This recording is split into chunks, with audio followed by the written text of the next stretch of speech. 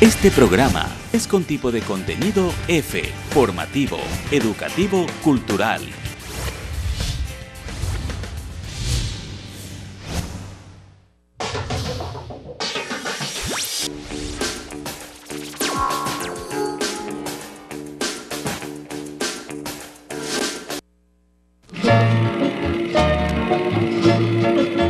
Video Radio Producciones presenta Ecuador Agropecuario, un programa dedicado al hombre que trabaja la tierra, a los ecuatorianos que contribuyen con su trabajo fecundo el engrandecimiento de nuestra patria. Ecuador Agropecuario, con mensajes prácticos de gran utilidad para los agricultores de todo el país. Ecuador Agropecuario, con el auspicio de...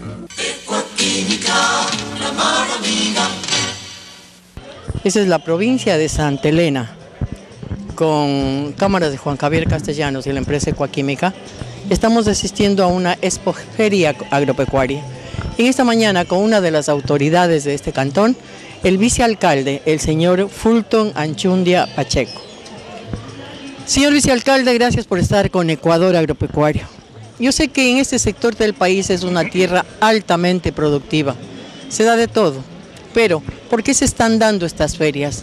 ¿A qué queremos llegar con todo esto? Bueno, sí, un saludo fraterno a los hermanos ecuatorianos y un agradecimiento de parte de ustedes por dar la cobertura al agricultor peninsular que con justo derecho se lo merece. Sí, a través del GAC pues, y el MAGAC estamos organizando esta feria agropecuaria donde nuestros hermanos peninsulares de la zona rural pues van a mostrar eh, los productos que se cosechan en esta tierra bendita, una tierra que es muy productiva. Tras cámaras me conversaba usted, señor vicealcalde, que prácticamente los productos nuestros están saliendo fuera. ¿Quién está impulsando este trabajo?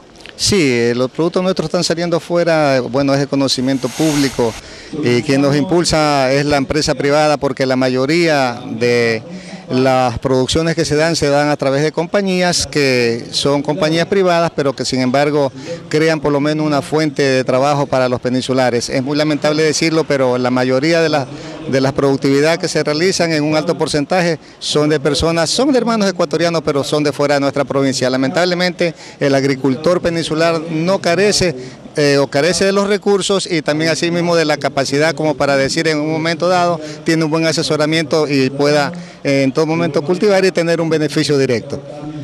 ¿Cuál es el cultivo que más se destaca aquí, el que tiene mayor desarrollo, digamos así? Bueno, hay muchos que se destacan, entre ellos eh, vemos que hay un sinnúmero de plantaciones bananeras que están en lo que concierne más que todo la parte sur. Asimismo también este, vemos que se cultiva muchísimo la cebolla perla, eh, se cultivan este, también este producto de ciclo corto y algo que a la final hay muchas personas que no lo han de creer, aquí en esta tierra se cultiva la uva una uva que caramba, inclusive tiene un buen tamaño, un buen porte y asimismo muy, muy, muy agradable. ¿Cómo mira usted el trabajo que está haciendo diariamente? En este caso, los ejecutivos, los técnicos de la empresa Ecuaquímica. Bueno, el asesoramiento es muy importante, no solamente aquí en la provincia de Santa Elena, sino yo diría a todo nivel. El asesoramiento depende muchísimo los resultados, los resultados dentro de un ciclo de productividad. Yo creo que es muy importante el asesoramiento técnico y asimismo la venta de los productos a través de Ecoquímica. ¿Cómo ve usted a la empresa?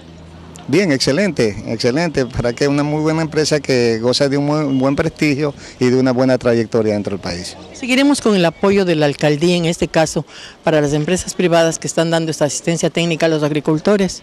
Bueno, siempre ha habido el apoyo de parte de quienes estamos al frente de la alcaldía, de parte de nuestro alcalde, el licenciado Dionisio González Salinas, hacia el agricultor, hacia también el microempresario, hacia el pescador artesanal. No nos olvidemos que ahora a través de la ley de, la ley de COTAC nos faculta inclusive hasta para dar o, o otorgar pequeños microcréditos. El mensaje al agricultor de este sector de mi país. bueno, seguir trabajando laboriosamente en esto que realmente nos llena de orgullo de que las tierras peninsulares son muy productivas, trabajar eh, día a día para contribuir al progreso, al desarrollo y el bienestar de esta bendita tierra que es la península de Santa Elena. Muchas gracias. Gracias a usted.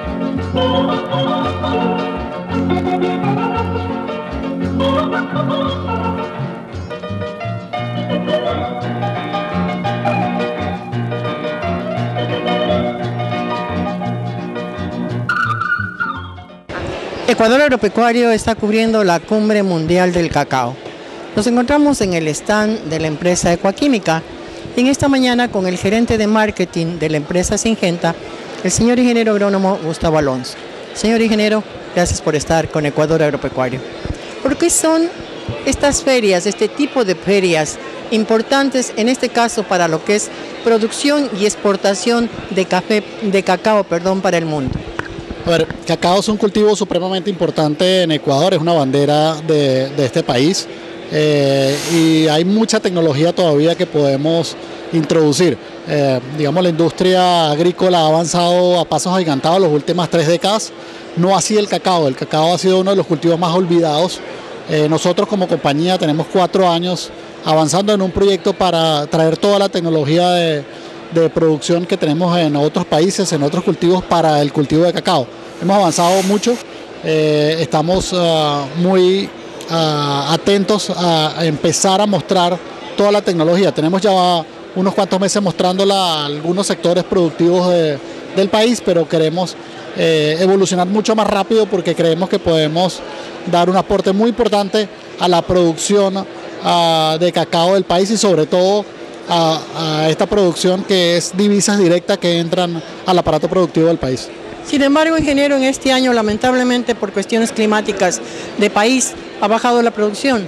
La floración no llegó.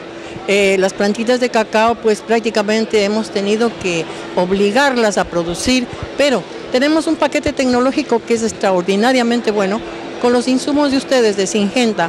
¿Qué es lo que tenemos que hacer? Mira, nosotros tenemos, ah, hace dos años hicimos una, una ah, campaña de investigación muy importante donde teníamos 20 fincas pilotos que manejábamos durante 18 meses para medir qué podíamos hacer con nuestro portafolio dentro de la producción, sobre todo para el combate de las enfermedades que es lo que real, real eh, moniria, escoba de bruja y fitóptera son las tres principales enfermedades y de los cuales por lo menos el 60% de la producción que podría ser exportable se pierde por estas enfermedades. Nosotros con nuestro portafolio hemos eh, incrementado esta producción. Ah, no podemos dar números porque sería irresponsable, pero sustancialmente hemos incrementado la producción y básicamente es por la, evitar que se pierda mazorcas por las enfermedades. Sin embargo, nosotros tenemos que implementar este paquete tecnológico. No es que decir este ponemos y esto no. ¿Por qué razón, ingeniero? Eh, digamos que hay que ser, hay que tener un balance entre cuánto estamos invirtiendo versus cuánto estamos retornando. Nuestra, nuestros cálculos matemáticos nos dan que por cada dólar que invertimos podemos retomar 7 o 10 dólares ah, de retorno a la inversión. O sea que es un, es un tema económicamente muy viable. Eh, vamos a tener mucha fuente de trabajo porque al incrementar la producción vamos a incrementar el manejo tecnológico que se da del cultivo, eh, así la inversión que se da y por supuesto el, capital que regresa al agricultor, que finalmente es lo más importante. Cuando el agricultor gana, todo en la cadena productiva tenemos oportunidad de ganar. Ustedes son prácticamente socios estratégicos de Ecoquímica, con un capital humano que es extraordinariamente bueno para trabajar en campo. ¿Seguiremos manteniendo esto aquí a futuro? Por supuesto, eh, nosotros como compañía de investigación y desarrollo vamos a seguir aportando para la investigación y por supuesto tenemos que tener un socio, un aliado estratégico como lo es Ecoquímica acá en el país para seguir llevando o entregando a los agricultores, ellos que tienen la fuerza extendida para hacer la, comercialización de nuestro portafolio, para poder llegar a cada uno de esos pequeños agricultores. En el caso de cacao estamos hablando de más de 200, 250 mil agricultores. ¿Qué hay del cacao fino de aroma? Mira, uh, yo creo que ah, tenemos que hacer un balance entre lo que es el cacao fino de aroma, que es un, porcentaje realmente no tan alto, de lo que a la final las chocolateras usan y el CCN, que es la materia prima fundamental. Digamos que con nuestro socio estratégico también, que es Transmar, que estamos en una alianza con los tres, pues hemos aprendido mucho del tema y la verdad, ¿necesitamos cacao fino aroma? definitivamente sí, pero también necesitamos la otra parte que es el CCN, que es el que va a generar más divisas en kilos por hectárea. Muchas gracias, ingeniero. Bueno, muy bien, muchas gracias.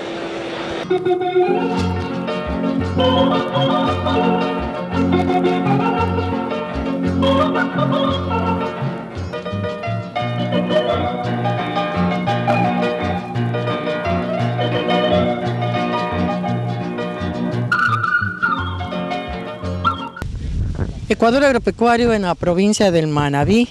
Esta es la parroquia Charapotó, el cantón Sucre. Estamos asistiendo a un día de campo relacionado con el cultivo del arroz.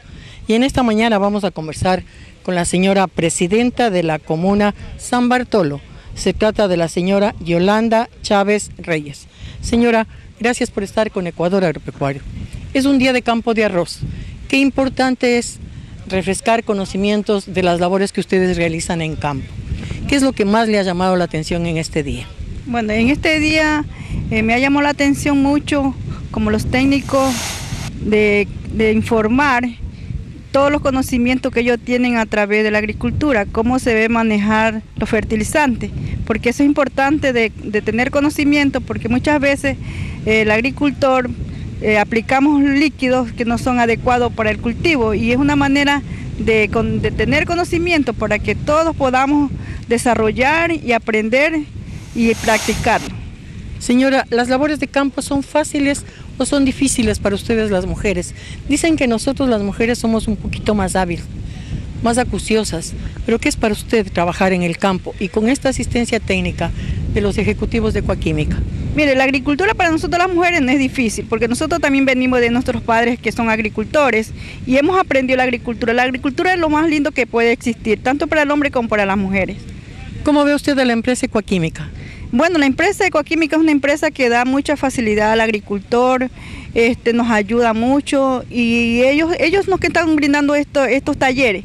Y no solamente ahora, es todo el tiempo nosotros los agricultores hemos permanecido en capacitaciones para aprender, porque el ser humano nunca deja de aprender hasta el último día de su vida. Y los conocimientos deben de innovarse, porque hay cosas que uno lo sabe, hay cosas que no lo sabemos. Y este tipo de talleres es que no, nosotros lo, no, nos beneficia porque aprendemos. Señora, está, tenemos una, una nueva herramienta para el control de malezas, control de malezas en este caso en arroz. Este nuevo herbicida que es selectivo, Top Chop. ¿Cómo lo ve usted? Yo excelentísimo, porque ya nosotros en, en mi casa, nosotros ya lo hemos practicado y es excelente producto. ¿Por qué? ¿Qué queremos decir con excelentísimo? ¿Qué ha visto usted con el producto? Porque nos ayuda tanto a la economía y nos ayuda también a, a, a fortalecer nuestros terrenos, porque muchas veces aplicamos químicos que no son adecuados. Y esto nos ayuda porque más que todo la economía. Al decir economía, ¿de qué estamos hablando? Si hablamos de Top Shop herbicida. La, la, economía hablamos sobre los gastos, los gastos, porque usted, si usted compra un fertilizante muy caro. En este caso un herbicida. Y sí, pues ese herbicida es, es lo más importante que debe ser, lo que es más económico. Si es económico, nos estamos ahorrando, decían, en este caso, en esta charla netamente técnica, que estamos ahorrando una un ciclo más eh, con mano de obra. Claro. ¿Eso es rentable para ustedes, para el agricultor? Claro, mire, ahorramos tanto en economía, ahorramos la mano de obra, porque eso ¿Ya? es lo importante. Si nosotros, ¿de qué nos vale comprar un líquido tan caro y que no nos va a hacer nada? No nos ahorra ni en la economía ni en la mano de obra, porque tiene un gasto.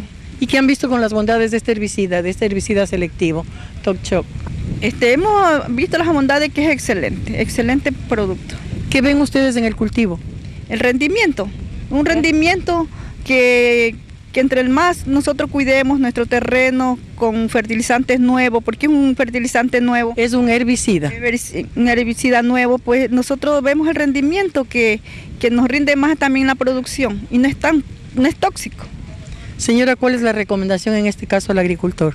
Yo mi recomendación al agricultor es que, que, aprovechen, que aprovechen esta oportunidad. Es una oportunidad que tenemos todos los agricultores y que no debemos desperdiciar. Como ya lo dije, el ser humano nunca deja de aprender hasta el último día y que sigan adelante, que cualquier taller que haya, que aprendan, porque eso es lo que nos va a llenar a nosotros, el conocimiento.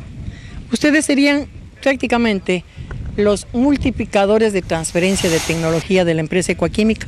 Sí, claro que sí. Nosotros somos los que transferimos a nuestros agricultores, porque de aquí vamos han aprendido? aprendido y vamos a, a, promocionar a nuestros compañeros que nos han llegado, decirles lo que es coaquímica, lo que es producto que debemos de, de, sembrar, que debemos de aprovechar. Y esa es una oportunidad, le digo, hay que divulgar para poder tener más conocimiento a nuestros compañeros que hoy día tal vez no han podido estar presentes. Muchas gracias. Gracias a ustedes también. Gracias.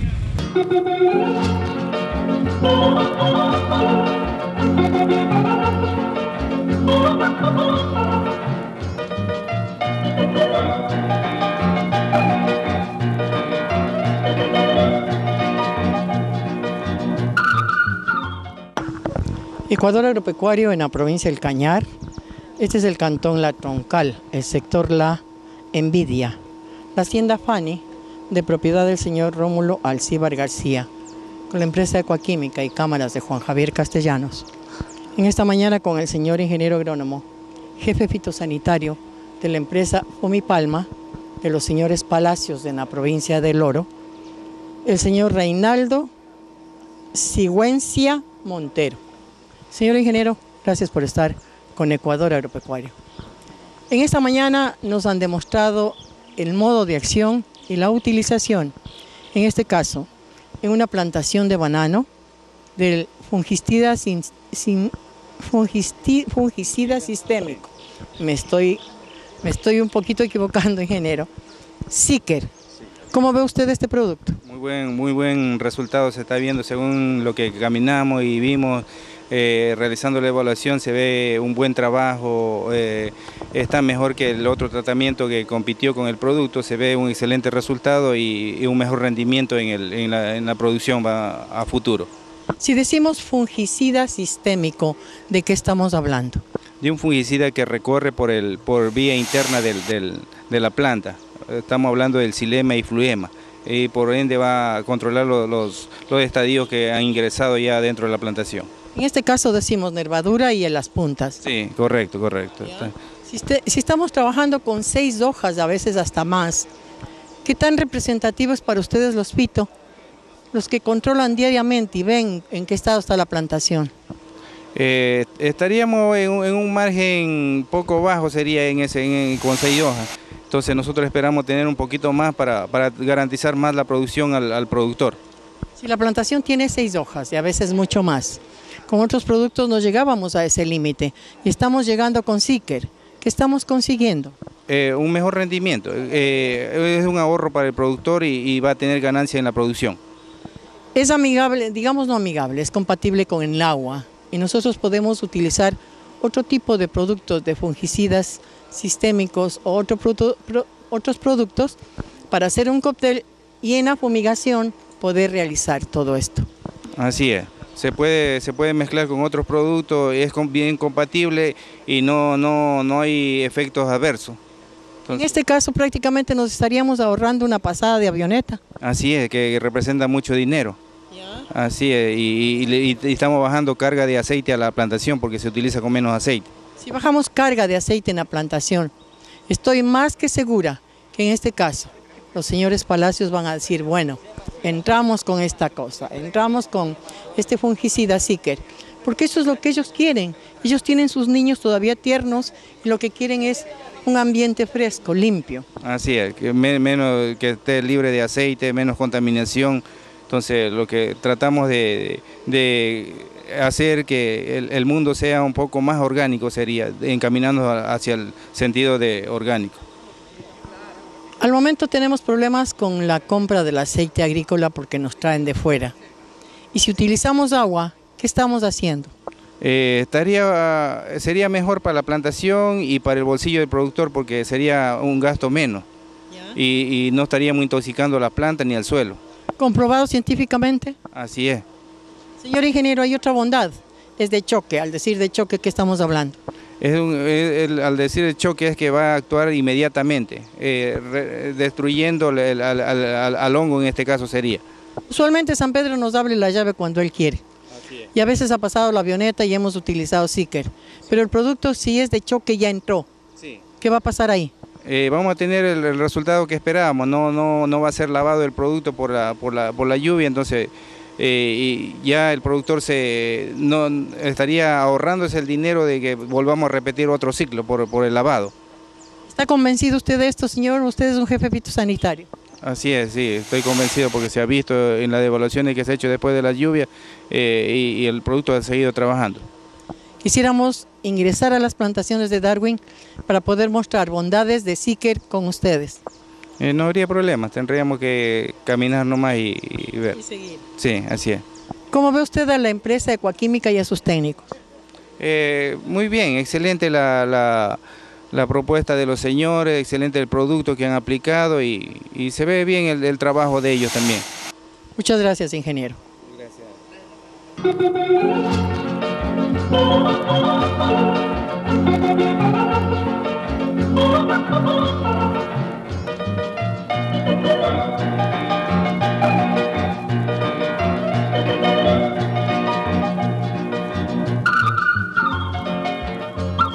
Esta es la provincia del Cotopaxi, el cantón Salcedo.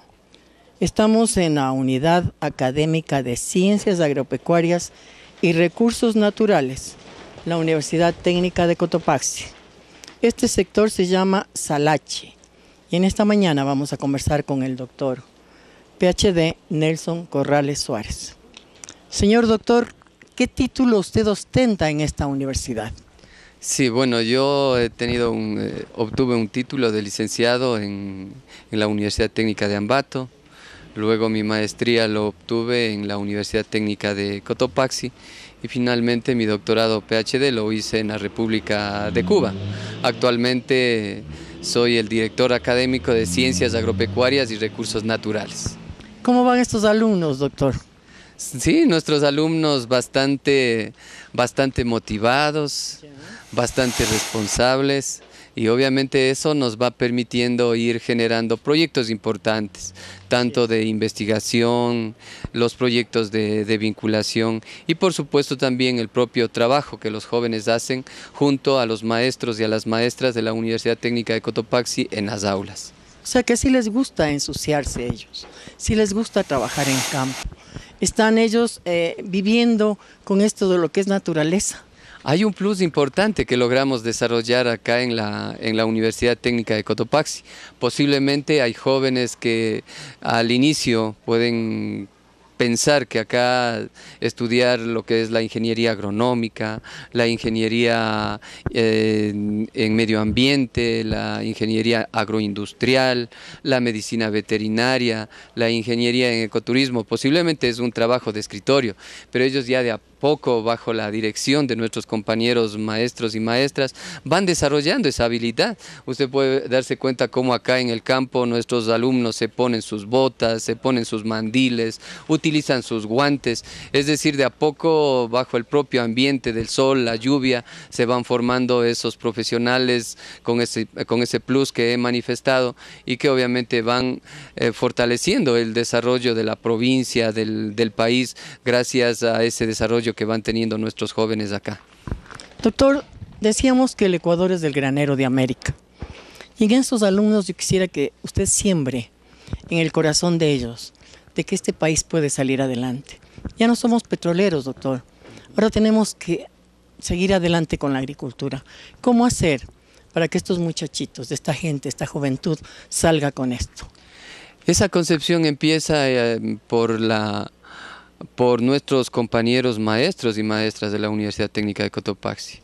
Eh, nuestros docentes están, están preparados, hay una gran cantidad de, de profesionales que se han graduado ya de PhD en, varios eh, países.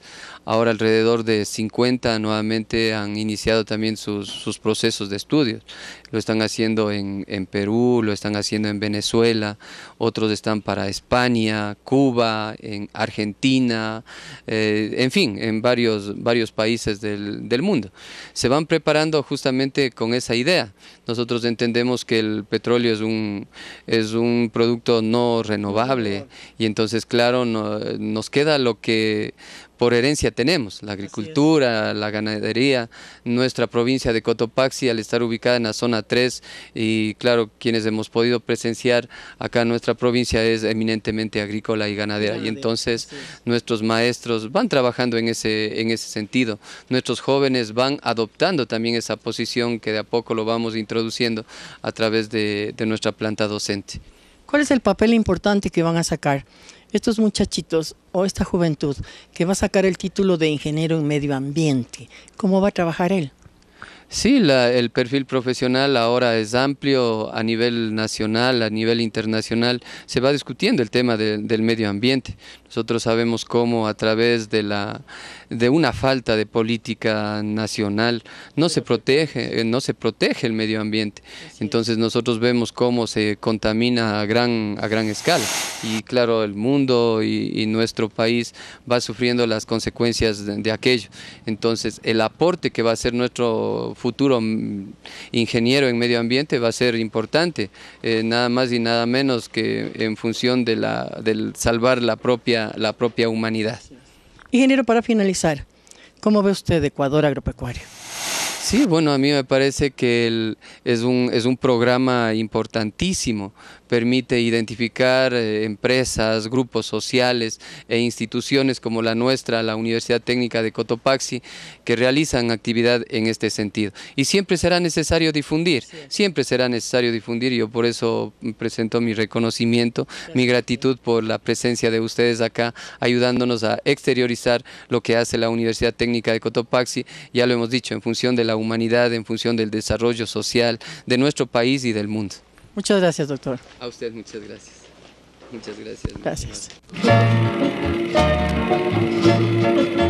Video Radio Producciones presentó Ecuador Agropecuario, un programa dedicado al hombre que trabaja la tierra, a los ecuatorianos que contribuyen con su trabajo fecundo el engrandecimiento de nuestra patria. Ecuador, agropecuario, con mensajes prácticos de gran utilidad para los agricultores de todo el país. Ecuador, agropecuario, con el auspicio de...